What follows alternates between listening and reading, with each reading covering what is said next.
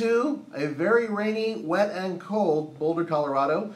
It is um, not the type of day you want to go outside with any electronic equipment. So, we're going to do a fun show inside, and it is the top 10 unusual and bizarre, or bizarre and unusual pickup trucks. Uh, and we want you guys to participate in this Yeah. because we want you to, uh, you know, create a list of your own vehicles that you've thought of. Now, bear in mind, these are factory-built vehicles or vehicles that were built by the factory and then sent to a second party to modify, but they're still basically production trucks. Alrighty, um, Yeah. and how are we doing on sound? Um, They say they say it works. Sound is working, that's fine. guys? Okay, great. Sorry about that. We're every time we think we've got it nipped in the bud, sound So- goes away. Yeah, so we have different microphones we've used. Probably we've tried like four different microphones, lapel mics, and but we're trying to figure this out. Of course, you know this is early days, but it's streaming and it's live, and we want to engage with you guys. So let us know your comments and questions. I have pulled up the chat room here, so I will be able to, you know, we can talk about comments and questions. Which are right here, so they can actually see their own comments and questions in duplicate. yes. So can we can we remo- remove that and actually show what's underneath it? Because what you're seeing underneath this is our number ten truck, and these are, well, you tell me, guys. Check this out. So this is our number ten on the list. Yeah, this is the Toyota Dually Sunraider. And no, it didn't come out of the Toyota factory like that. They actually sent it to a second party in California. And for four years, these trucks were being built, and they were primarily built either as this or they would use the platform and build motorhomes on them. And there are various motorhomes from Chinook and Dolphin that um, these these trucks were based on. But this particular one, if you could scroll and show the uh, look at the side, that is the back seat. That's like a limo back seat. Yeah. And in some cases, I've heard that they actually will pull out and turn into a couch on their own. Now these were built to be tow vehicles, but they still had the 22R four-cylinder engine, which is a legendary engine for its uh, ability to last a long time and uh, general not very reliability. powerful, No, less than 100 horsepower. 97 horsepower, about 129 pound-feet of torque. And these are basically, we just wanted to count down top 10 bizarre trucks that you and I appreciate, Yeah. but are so weird, right? Oh, I mean, yeah. A small dually truck, who would have thought you needed one? That would be really cool nowadays. Now, I've seen a few dualies kicking around. Once again, on the motorhome platform, they use a different rear axle and obviously a beefed up and stretched platform.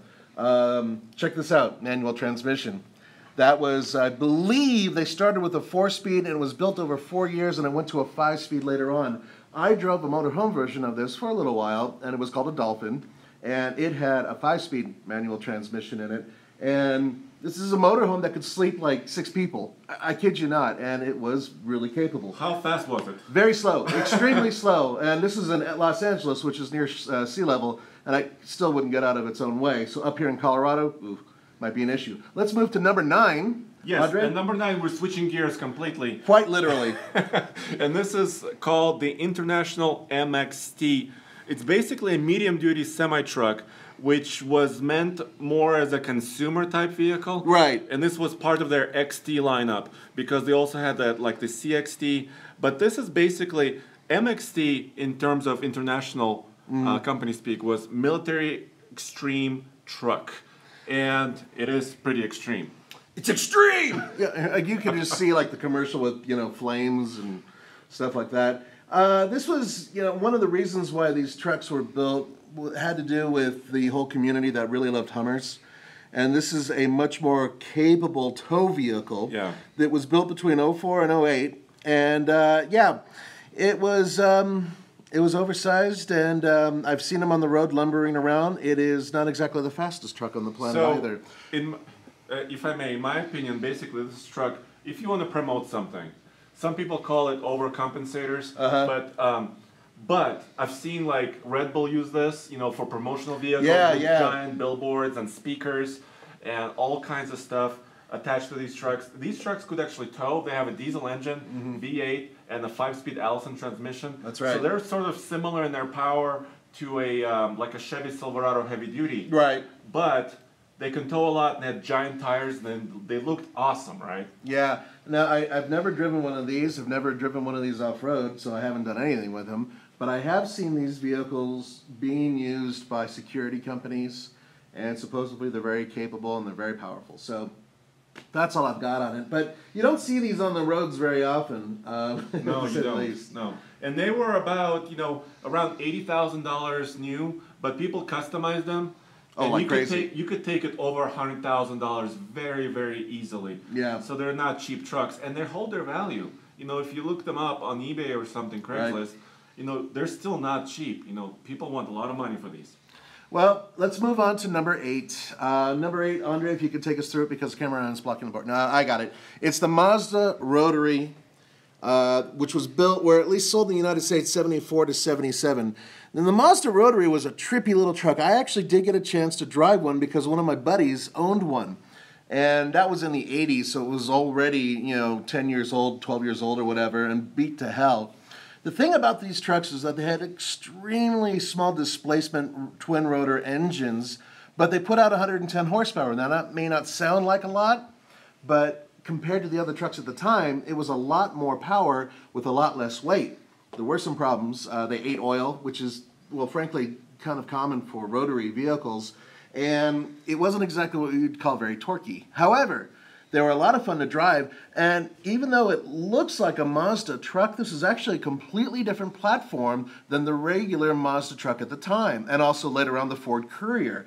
Ford never had the rotary engine in their Couriers, and primarily it was because that was a completely different truck. So it was a fun truck to drive. They're very zippy, and now they're very collectible. I have seen these things going for crazy money, 20,000, for, for fully refurbished. Yeah, and this is a small, lightweight truck. Right? Yeah. So 110 horsepower. It's actually a fairly good amount of power for this truck, and I think now you guys are seeing you know where we're going with this list. Yeah. Right? You know these are kind of bizarre, quirky, kind of interesting trucks, very unusual, and this truck has a very unique engine. Actually, it's towing a uh, glider plane, which which makes a lot of sense. It's actually brilliant marketing. It really couldn't hold a lot, it couldn't tow a lot, but speed wise, it was quick. So pulling a glider up off the ground uh, is, is a fairly good PR ploy. Uh, once again, I did drive one. Unfortunately, the cockpit is really small, and I'm not just talking about my big belly. I'm talking about back in the day when I was a little bit skinnier. I was too tall for it, so I had to sort of slouch down, and my knees were hitting the bottom of the steering wheel and whatnot. Not a very big cab, but a very fun truck to drive and a great vehicle to restore if you're looking for a project. So, interesting vehicle. so Let- moving on to number seven. yeah, now number seven is is actually a very big truck in terms of how small it is. this was the only truck at the time introduced to, to the United States, that is, that had front wheel drive and just front wheel drive. This was called in other countries the Volkswagen Caddy. Here, I believe they just called it the Rabbit pickup truck. Yep, yep. And most of them came with a little diesel engine, a naturally aspirated diesel, so not a lot of speed. And they had, you know, different ver- different versions of this truck. It was basically based on the MK1 first generation of the Golf platform. Right. And you know, whatever the front end, the grill of the Golf you could get, you know, with square lights and later on with round lights. Right. You could also get a Caddy overseas or a Rabbit pickup truck with, and it came with actually two engine options: a 1.7 liter gas, uh, fuel injected engine. Fuel injected, Fuel injected, and that was 78 horsepower. almost 80. Yeah. And it also had a little diesel, Yes. 1.6 liter. That's right. And you still see those diesels running around today. Oh yeah, a lot of people converted them to veggie uh, diesels too. Yeah. They're, they're really popular for biodiesel. And they first came out in 79, so that's, you know, quite a long time ago. Yeah, yeah, they were. And, and, and this truck, despite everything, I've seen everybody from gardening services to moving companies use these little things and beat the crap out of them, and they just keep on going, especially with the diesel. It's real fun to watch those things going up and over the, uh, you know, like the Ike Gauntlet. Because by the time they're at the top, they're going about 25 miles per hour, and that's they're blowing black blowing a ton of black smoke and everything else. And you see the guy inside, you know, holding white knuckling the steering wheel, just trying to get it up and over. But supposedly, if you build them right and if you treat them right, they will run forever. And frankly, I've seen a lot on the road, so that could be true. Let's move on to the next one. We're And completely switching gears. boy, are uh, we. And this All is, right. we're going a lot newer and a lot wackier and a lot more bizarre. I want to point something out. This, first of all, this is called the GMC XUV. It was um, built in 2004, and it had either a straight six or a V8 engine. They were that was optional. Now it may not look like a pickup truck, but see this uh, roof panel? It slid forward, and you could put tall items in here and also drop the tailgate and have, I believe, about a five and a half foot bed altogether. Yeah. So it had some interesting ideas. This is actually not a new idea either. There was a um, another vehicle back in the '60s that actually did this, a station wagon, um, a Rambler. But the point is, is that it was a really interesting idea, but the execution was really bad. I mean, Well, really bad. So, I mean, GM really took a chance with this. Oh, yeah. I mean, they also had the Avalanche, and that was part of the problem. That Yep. the Avalanche was also a convertible pickup truck where you could lower the uh, uh, midgate basically and extend the bed To about eight and you could do the same thing. Uh, there's a little midgate here which was hard plastic. You could fold it forward and put some longer items inside of this SUV, but it's also kind of a convertible transformer Yep. pickup truck. Once again, a really interesting idea, but there were a lot of problems with it. Also, some people reported leaks from lots. this roof. There were lots of leaks. This is one of the first vehicles that I actually reviewed when I became a uh, professional journalist in terms of uh, automotive reviews. And one of the problems was a lot of plastic components underneath as well.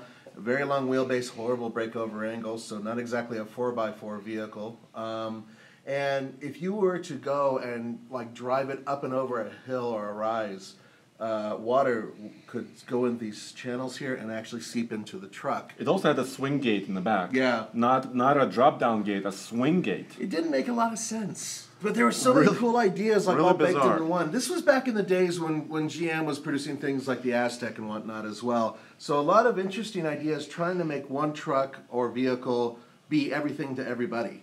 Uh, I think that the Avalanche was a better executed vehicle, especially the second generation. So, yeah, not not um, not GM's uh, brightest moment. We actually have other GM vehicles on this list as well. So let's move on to the next um, not so great idea, but kind of cool and funky, and that's uh, number uh, five.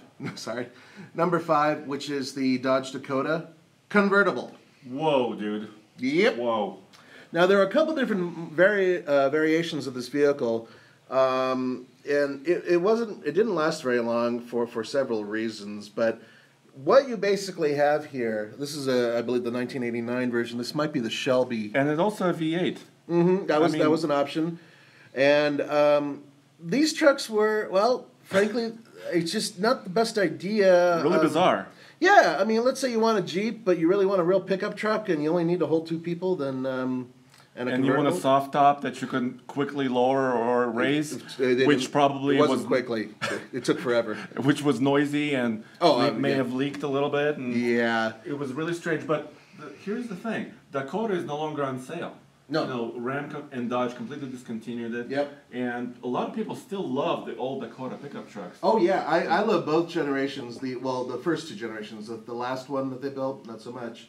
But the, the bottom line is that this truck didn't really do anything that was unique and special, other than have a convertible top. The Shelby version of this was considered pretty fast at the time. And what they were doing is exactly what they're doing today with certain Jeep products. They're extending it by finding new ways to bring people into the showrooms, and this was one of them. And although it wasn't a popular seller, it still did sell. I have seen a couple on the street over the past, say, 10 years. So, yeah. It's, really rare. it's rare and I bizarre. I think the value of this truck now is going up because how rare it is, and if you find one in good shape, you, I don't know if that's Yeah, possible. g- good luck on uh, doing that. But the value of these trucks is pretty high because how rare they are. Yeah, it is a factory vehicle. It's not like somebody took a blowtorch and took it down. All right, let's get to the next one. And- Number four. The, this is one of the most. Uh, this is one of the least successful vehicles Ford has ever produced. This is the Lincoln Blackwood, and I actually Yes. remember a commercial showing Mark McGwire taking the keys to like the very first one, and supposedly he took it down the street and parked it in a parking lot and walked away. I, I'm not kidding. That's that's the rumor. That truck is probably worth millions. It could well, it could be. You know, I mean, you see some steroids in the glove compartment or whatnot, or, or some other enhancements. Um, the point is, is that this truck had a couple quirks about it. Now, yes, it's basically a Ford F-150 um, with you know the additional grills and whatnot. But look at this. This is actually how it came. That is a split tailgate that opens outward barn Yes. door style. Do you know what's inside that tailgate? A carpeted bed. fully carpeted bed, not only on the floor but on the sides. But it's perfect for baseball bats. You could put a lot of baseball a bats couple in there. A couple golf clubs could go in there as well, you know, golf bags. Uh, this overall design and everything else that went about this vehicle was, frankly, considered polarizing to a lot of people. And the bottom line was, it seriously was nearly double the price of the equivalent F 150. Uh, they were going for well over $50,000. It's another vehicle that I did have a chance to sample, and I was stunned. Uh, I mean, the interior is as nice as any Lincoln's interior, but at the time, you could buy a Ford F 150 with a really high end interior for a hell of a lot less. That and the fact that the tail was completely, I mean, everything in the bed, pretty much from the cab back, was useless. I mean, you really couldn't use it. Well, you couldn't put your gardening equipment No, in you couldn't. Haul, but it could tow, right? Yes, but only two wheel drive. They never made an all wheel drive or four wheel drive version of it. Oh boy. So yeah, they really kind of kicked themselves in the uh, yeah, and because of that, these vehicles, some of the le- uh, the the lowest sales numbers that Ford's ever had, right here. That's what you're looking at. So total bummer on that, and um, they Kind did. of like. Can I say something Yeah, I yeah. like about this? Sure. I like the kind of the uh, aquatic mo- motif or theme. It almost looks like you know it could be parked uh, near a yacht somewhere. Mm-hmm. You know, for a very well you know well-to-do uh, gentleman or lady who drives their pickup truck and just going golfing. You know, once in a while. yeah, for the boat guy, I guess that, that, that might be compelling. I'm Uh, a they- captain, by the way. You are captain, uh, Capitan. And they did come out with a replacement to this that did sell for a little while. That was basically a less polarizing version of it without the really expensive bed. By the way, the bed, that whole back section was built by Magna Steyr. And they uh, shorted Ford, and there was a major issue. Big lawsuit, everything else. Just a bad luck truck, really. Let's move on to the next one. Number three on our list. Number three on our list. Ta-da! Now we have actually had quite a bit of experience with this truck. Um, We have a lot of videos on our channel. Yes, we do. Yes. Most, uh, both on car and truck, we have the um, the FC. There's some concept ones that we've uh, driven, and recently Roman, not this year, but last year's Moab Jeep Safari, he actually drove one of these that belonged to Mark Allen, the head of Jeep design, and it looked like that vehicle, but it actually was very different. It was built on an uh, uh, Wrangler platform. But the point is, is that those trucks, they were incredible. There we go, right over there.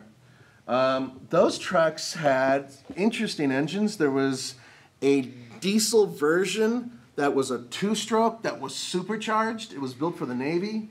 It um, had obviously a you know four-wheel drive, power takeoff.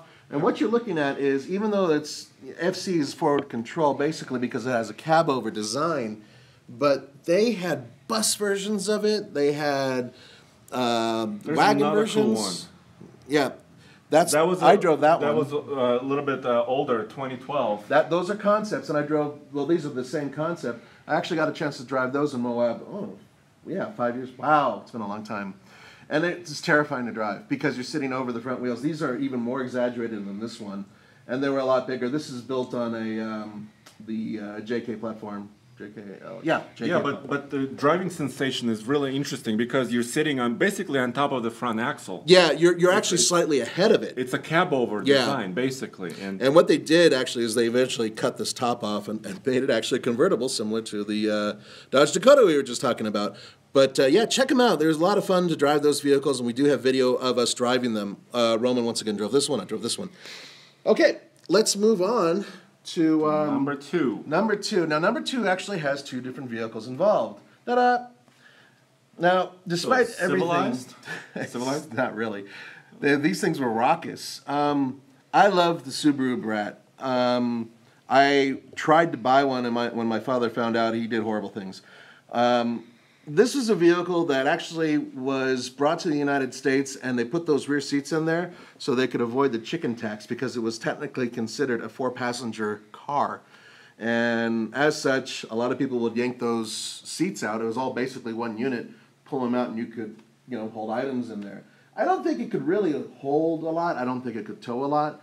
But I saw people abusing the hell out of those things with doubling and tripling the capacity. Or There's still a lot of these around Boulder, Colorado. Oh hell yeah, they're really popular. Colorado is a big place for Subarus Oh, in yeah. general, and Brats are still around. There's some in perfect condition, And some are- some are less than perfect, and some are modified with giant tires. I've seen those. Yeah, they've done so many things to them. Now, the first generation, which you're looking at here, had the round headlights. Second generation had the square headlights and had a slightly different body. Um, but these seats remain the same. Now, I have sat in the back of these things, actually in a place called Gorman, California. And you sit in the back of these, and there's actually an oh crap handlebar that you could hold. I kid you not, it's Yes, a grip. yes. And you could hold it, and you know what? You kind of needed to. The belt barely fit the the seat belt. They did have a seat belt that was available that you could put on, and you really were taking your life in your own hands if you uh, rode in the back of these. But I actually I took one of these, the second generation off road in Gorman, California. it was great. It's just it's so lightweight. Uh, it didn't really need much horse- horsepower. It didn't have much horsepower. By the way, spare tire under the hood. Yep. Yikes! That's really bizarre and unusual, right? No, Uh, actually, uh, Subaru had been doing that for years. and there's a second part of this number two. Yep. Which is this?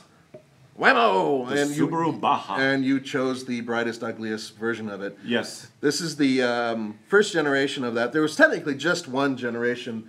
The Baja had uh, a three-year uh, shelf life, where the Brat was built from '78 to '94, but it was sold in America in slightly different dates. But the uh, the Baja, that was actually a fairly popular vehicle. In fact, we just talked to somebody who we worked with in the past, and his wife has one.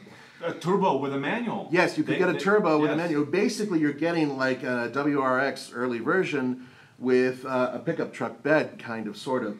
And there are a couple interesting things about this, and I'll tell you real quick. And I got this directly from people who are in the industry new.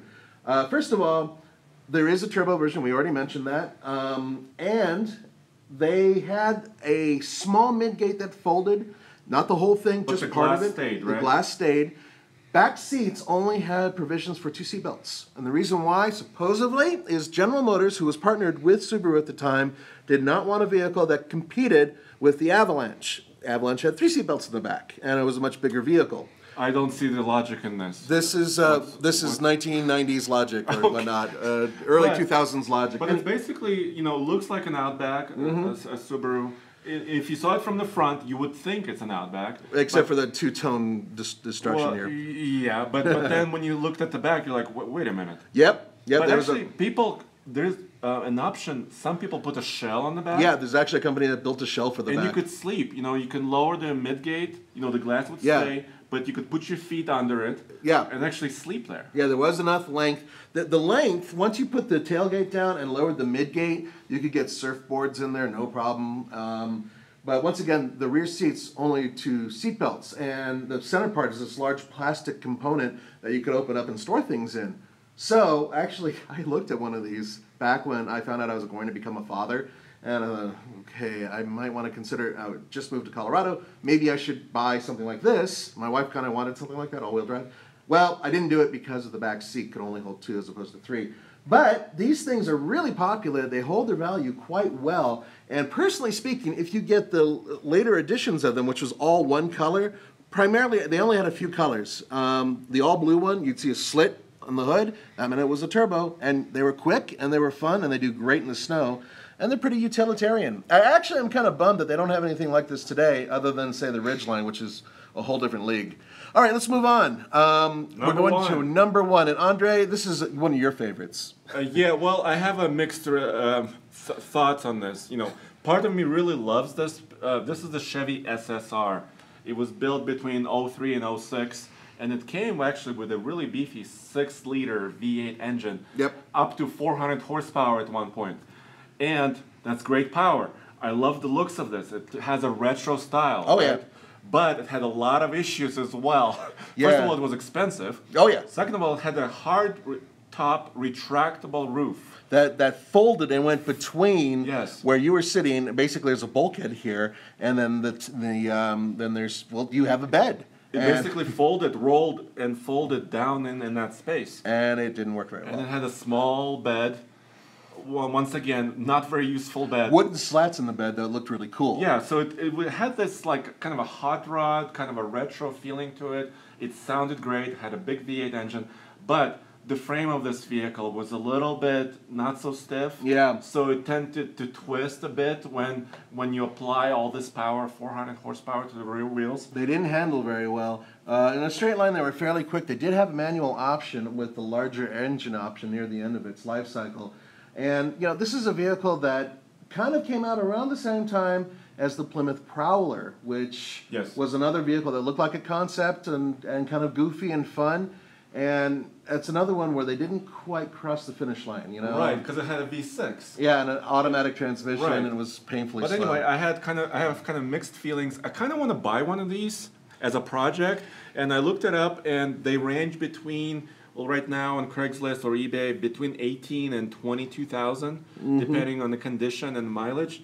But this could be kind of an interesting project, but it could be also a nightmare. Oh, I, I, I would totally walk away from it, but but you you have different tastes than I. Um, So, I wanted to look at a few comments before we move on. yeah, we have some bonuses, but we'll get to that in a second. Let's talk. Let's talk to you guys. Well, one of you asked early on, is there a way to get a signed copy of our Truck Nuts book? Oh, good And question. That's a very good question. Um, let's uh, let's talk offline. Um, you know, you could of course send us a book, and we'll send you a uh, signed copy, or we can work something else out. Potentially, you know, us sending you a copy that's signed, but we have to handle payment. It's kind of a messy thing. Now, Mr. Truck just uses a large red X, right, when he signs things. so I just I wanted to make sure about that. Well, yes, it's a joke, of course, but but yes, thank you for mentioning the book. You know, we're very proud of it. We just updated. We had a, a few editing problems in the book initially, but the new version is on sale right now. You can go to trucknutsbook.com, and this is a pickup truck guide. Yep. You know, we have our Ike Gauntlet testing in there, MPG testing, uh, some stories from Mr. Truck. Yes. And he has lots of stories. You wrote a chapter on Yeah. your experience in the pickup truck. That's correct. Roman uh, threw in a, one as well. So you're really getting a, a nice chunk of what we do and what we know. And these guys worked really hard on it. Uh, it's quite a project. So let's. Uh, oh, and one other thing, by the way, uh, we're actually going to be doing another, uh, a different version of our MPG loop. So stay tuned for that. That will be coming down TFL Truck down the line. Yes, we want to do a combined MPG loop, not just a highway loop. But we uh, always try to give a, away a hat during our live show. Yep. And this, uh, this time, explain who gets it. yes. Um, so we have a Patreon page, which is a way for you guys, another way for you guys to support us. Patreon.com slash TFL car. And right now, YouTube revenue is really spotty. Yeah. There's some issues with advertisers, and obviously, that's our main bread and butter. It So is. Ev- all the help you can provide is very, very appreciated. And we want to give back. Yep. So, for those of you guys who give $10 a month, we pick a person at random Yep. every morning when we do this Monday, Wednesday, and Friday at 10 a.m. And we give away a hat. This time it's a Mazda hat, Yeah, it's a nice one too. uh, which we get at events that we go at. And I, I randomly picked Jonathan Gerard, and I think I'm selling your, uh, uh, uh, saying your last name correctly. I'll email you, and if you like a Mazda hat, we'll send you one. All right. All right, let's get to a couple more questions here before we get to our final uh, part, which is the bonuses. I'm sure some of you are going to be able to guess. Well, what a our lot of are. uh, comments are here. Uh, somebody mentioned F-150 Lightning, but that's kind of a different genre of pickup truck. That's a sport truck. high performance. Yeah, and and that would go along with like the Chevy 454 SS, and you know the um, SRT uh, Ram. Those are fast trucks, and I think we'll, we'll eventually put together a list on those. But uh, and it is unusual, but at the same time, muscle trucks. I think we'll save that for a whole different uh, video. Uh, what else we got, uh, Andre? Well, some people are mentioning uh, kind of a customized pickup trucks. Uh, things like uh, some shops did kind of a one-off on. Yeah. Like there was a Volvo pickup truck somebody did. There was a BMW M3. There was a Nissan truck. Leaf pickup truck, which Nissan actually was Leaf. done at Nissan, but it's not a production vehicle. So yes, Um, those are uh, once again a customized truck, but we wanted to focus on bizarre trucks that had a kind of a production run, Right. And were manufacturer at least either made or authorized. Yes, yes. So out of all these vehicles, I think let's see, I've driven the SSR, I've driven both the Bat, Brat and the Baja. So I've probably driven about eighty percent of these vehicles, and I can tell you, they are bizarre for one reason or another. Um, What about Ford Explorer Sport Trac? You know, that's a really good one, and that actually had two generations. Um, it um, it was sort of a stopgap measure. Ford was going to get rid of the uh, Ranger, which ironically kept being built while this was being built, so it, they kind of competed for sales. But Ford didn't have a Ranger that had a full quad cab. Uh, they had a king cab version, or they had another term for it, but. Um, because of that, they, they built this thing, and it was an Explorer. It wasn't just a, a stretched Ford Ranger, and they sold enough to where they felt like could build a second generation.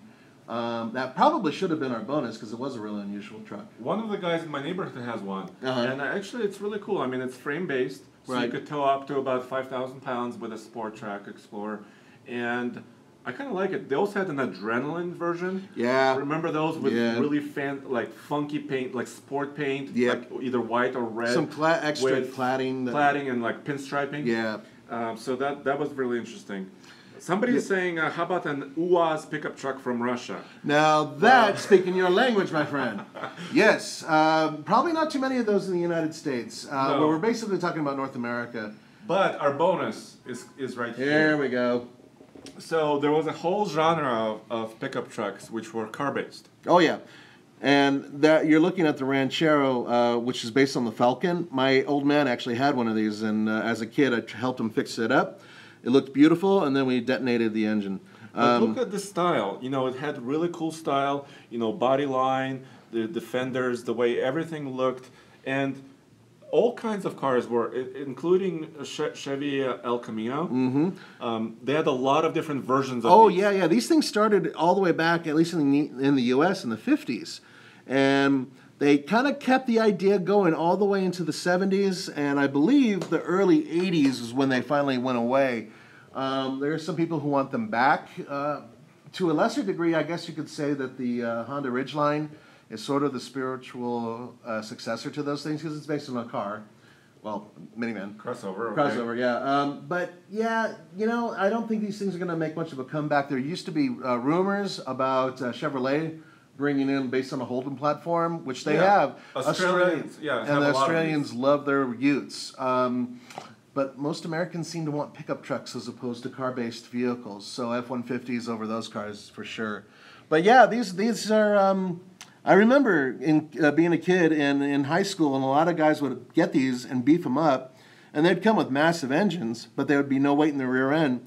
And I used, I used to call them widowmakers because you would lose traction and you're, you're basically going to go off into a ditch and die. Even if you're nowhere near a ditch, it'll find a ditch and it will kill you. They were really, really dangerous. So some guys, to make them fast and to make them somewhat safer, would put sandbags in the back of them, which worked when you were going straight. Then you slam on your brakes, and sometimes the slam, uh, the sandbags would slam into the back of the bulkhead, and all of a sudden you had even more weight in front of the rear axle, and it wasn't good. So, yeah, they, they had issues. So just a, couple, more more, questions? questions? before we close out. We like to these shows to go about 30 minutes. Yeah. And we're a little bit over time, but um, of course, some of you mentioned the G8 ST, which was basically an Australian Ute version. Yeah, once again- awesome. And actually, a guy in Colorado uh, imports them and, and modifies them. That's right. So you can actually get a few of these in the United States. That's right, but it's not exactly something that's easy to come by. And I'm sure someone here would probably mention the Brute, which was a Jeep Wrangler, the modern one, that had a uh, basically a tailgate and uh, bed grafted onto the back of it, and they made them longer. Uh, that uh, is kind of sort of what we're expecting with the next Jeep Wrangler pickup truck in the future, and of course we'll mention that once we get more information on it. Um, Anything there's else? Also, there's also a question about hybrid trucks, and I guess we can close on this question. Okay. Um, I also wanted to bring up this one particular Chevy Silverado 1500 High Desert, which actually has in the top of the beds little storage compartments, similar to what Ram has. Right, the Rambox. Um, but um, let me see. Um, the reason why I'm p- pulling up a Chevrolet is because Chevrolet does a light duty hybrid Yeah. truck, but very mild hybrid, which means Chevy and GMC. yeah, Chevy and GMC, uh, which means you cannot run it on electricity alone. The electric motor is there to just to help out. And this truck right here, I don't know, Ian, if you can get this. Um, this is the new concept from Chevrolet, and you see a flying buttress here, That's very reminiscent So of reminiscent the, uh, of the Avalanche. Avalanche, yeah. and the storage boxes on the side. Uh, but actually, this week there's an electric pickup that was unveiled, the Workhorse W15. So electrification and pickup trucks are beginning to sort of advance. There's another company that actually takes uh, Chevy pickup trucks and makes them all electric Yes. as well, but that's not VM quite the Motors, same. Yeah, yeah. yeah, but that's not the, the same thing. Uh, so yeah, there is electric, uh, electric, Electrification? Thank you. I, it's all morning with this. So, uh, with that, and the fact that we've run just a little bit over, guys, if you have more questions, give us a few minutes after we shut down, and then this video will actually become a real video on YouTube, and then we'll look at it again in, say, an hour or two and uh, answer a few more questions if you have them. Yes. All right. And come back. We're doing these live shows Monday, Wednesday, Friday at 10 a.m. Mountain Standard Time. So we appreciate your comments and a lot of engagement in the chat room, which Yeah. we love to see. So we really appreciate that. And of course, you know, we appreciate you watching because that's how we are able to do these videos. Yep, the live channel is growing quite a bit. TFL now is definitely starting to grow, so keep it up, guys. We appreciate it. For the Fast Lane Truck, Nathan, And Andre, we'll see you next time. thanks.